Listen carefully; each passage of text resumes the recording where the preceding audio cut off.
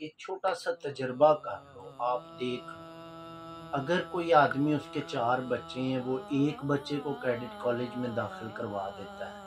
ایک بچے کو وہ مدرسے میں داخل کرواتا ہے، ایک بچے کو سکول میں، اور ایک کو کہیں بھی نہیں داخل کرواتا، وہ گلی محلے میں گھومتا رہتا ہے۔ آپ مجھے بتائیں، دس، بارہ، چودہ، سولہ سال کے بعد جب وہ بچوں کا تعلیمی کیریئر جو ہے، ایجوکیشنل کیریئر پورا ہوتا ہے تو ان میں فرق نہیں ہوگا۔ بھائی، ان میں ماحول کی وجہ سے فرق پیدا ہوا ہے۔ ان میں تربیت کی وجہ سے ہر ماحول کی اپنی تربیت ہے۔ ہر جو سکول آف تھاٹ ہے، ہر وہ جو سسٹم ہے، اس کی اپنی تربیت ہے۔ تو ان میں بڑا واضح فرق ہوگا۔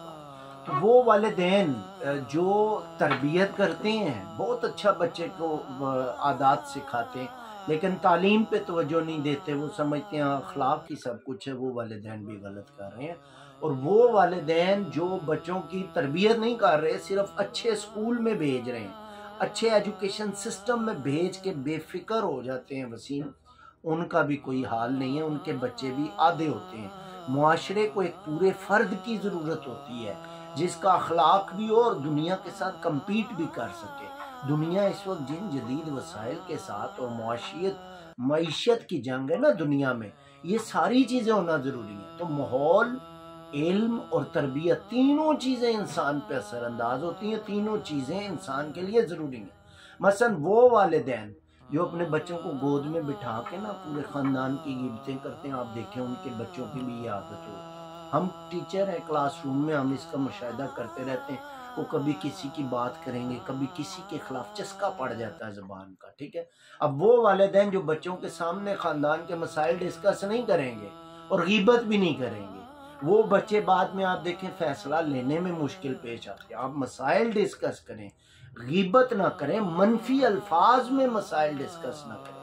اصل مسئلہ یہ ہے، ہمارے ہاں جو بھی کام کیا جاتا ہے، یہ جو اپنی ذاتی حکمت عملی اختیار کی جاتی ہے، ماہرین ایک باقاعدہ رائے دیتے ہیں۔